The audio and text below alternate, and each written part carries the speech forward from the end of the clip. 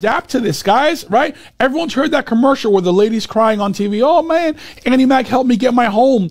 Everyone can relate to that. So Yeah. use paid advertising to help your word of mouth. I can't stand when people say, no, no, no, it's just word of mouth. Word of mouth, word of mouth. You know how long it's going to take? Unless you're Pizza Hut, Domino's, Budweiser, Coca Cola. If you open a small mom and pop right there in the corner, you better be the best product, the best food, the best coffee, the best whatever.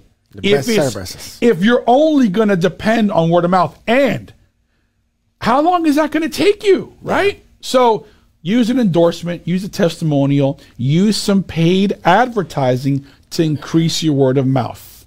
That's the topic of the day, baby. I love it. And you know, I am gonna I'm